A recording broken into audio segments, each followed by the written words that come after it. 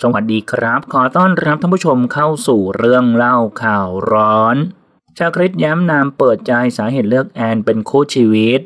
เรียกว่าออกมาเปิดหมดเปลือกสำหรับชาคริตย้ำนามที่ราสุดควงภรรยาสุดที่รักแอนพัทิราและน้องโพลูกชาย มาเผยถึงจุดเริ่มต้นของความรักในช่วงเวลาที่ลำบากที่สุด มีสาวแอนอยู่เคียงข้างไม่ห่างจนซื้อใจหนุ่มชาคริตได้ โดยชาคริตเล่าว่าตอนนั้นผมทำงานหนักมาก เพราะแม่เป็นสโตรกแบบหนักติดเตียง การรักษาดูแลจะยื้อเขาเอาไว้ก็ค่อนข้างสูง เป็นสัจธรรมอย่างหนึ่ง มันทำให้เราเห็นว่ามันคือสิ่งที่เราไม่ได้เตรียมไว้ และไม่คิดว่าจะต้องมาทดแทนบุญคุณแม่แบบนี้เลย แต่ในเมื่อมันมาอย่างนี้ก็ต้องทำให้เต็มที่ที่สุด การรักษาแม่ครั้งแรกก็หมดไป 7 ล้าน และแม่อยู่ต่ออีก 4 ปี การทำงานของผมเท่านั้นที่จะหาเงินได้ เพื่อจะมาดูแลแม่จนกว่าท่านจะหมดอายุขัยของเขา ต่อให้มีเงินเก็บก็ไม่พอ แอนก็เป็นตัวแทนผมเขาเข้ามาในช่วงที่ผมน่าจะดิ่งที่สุดแล้วในเรื่องของอารมณ์ช่วง hardcore เพราะเราต้อง strong ไปด้วยกันเลยทำให้ผมได้เห็นอะไรหลาย ๆ อย่าง และวางแผนอะไรหลาย ๆ อย่างให้มั่นคงส่วนทำไมถึงหยุดที่แอนนั้น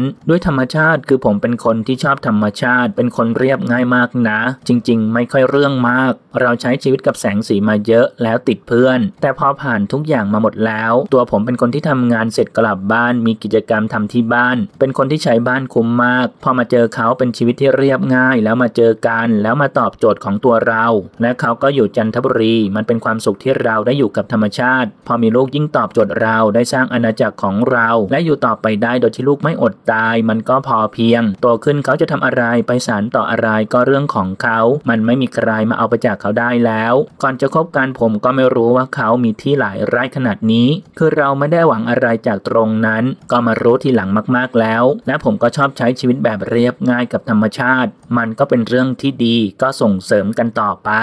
ท่านผู้ชมละครับ มีความคิดเห็นอย่างไรกับเรื่องนี้ลองแสดงความคิดเห็นกันเข้ามาดูนะครับ ขอขอบคุณข้อมูลจากโซเชียลนิวส์ขอบคุณครับ